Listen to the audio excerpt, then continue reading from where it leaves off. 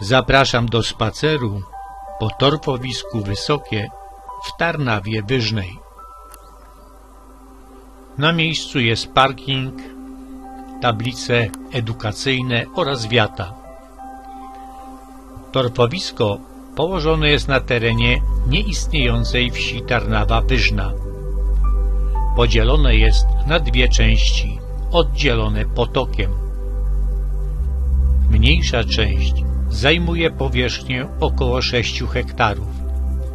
Jest w zasadzie niezalesiona. Drzewa stanowią tylko kilka procent powierzchni.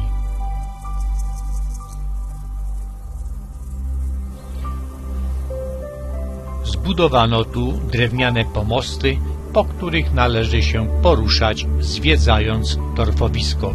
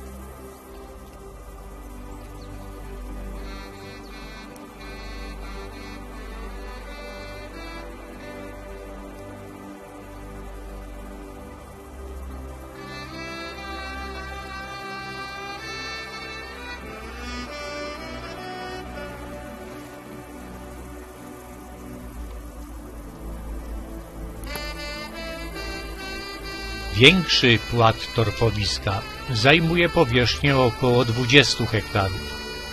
Ścieżka prowadzi kilkadziesiąt metrów przez łąkę, następnie należy przejść potok, drewnianą kładkę, a dalej, podobnie jak na mniejszym płacie, ułożone są drewniane pomosty. Tę część porasta bagienny bór sosnowy z niewielką domieszką brzozy brodawkowej oraz świerka.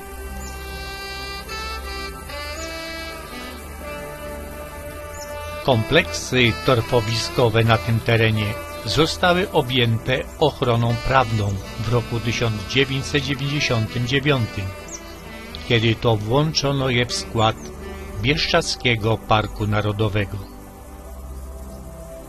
Bieszczacki Park Narodowy przez cały czas prowadzi monitoring i badania nad poszczególnymi gatunkami flory i fauny.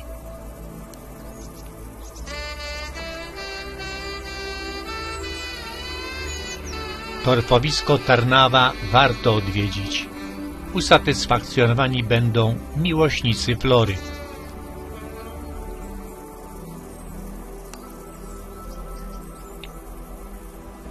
Torfowisk oraz parkingu roztacza się bardzo ładny widok na Wołowy Grab, Halicz, Kopę Bukowską oraz Bukowe Berdo.